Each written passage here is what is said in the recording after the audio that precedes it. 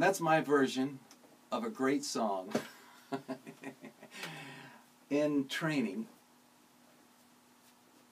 that was written with Craig Meadows, my dear friend Craig Meadows. And uh, this is for him. I don't know whether these lights are going crazy in here. I don't know what to, to do. I'm trying something different and new. anyway, love you. Bye.